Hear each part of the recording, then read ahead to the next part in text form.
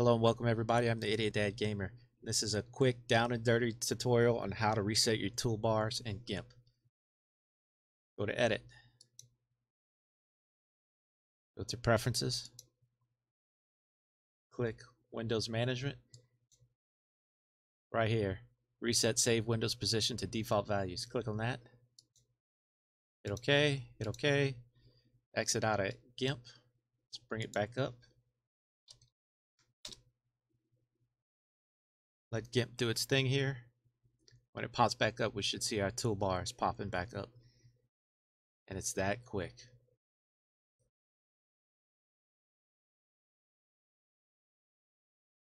There they are. Hey, so do me a favor, give me a thumbs up. Think about subscribing to the channel. Leave me some comments. As always, have a good one.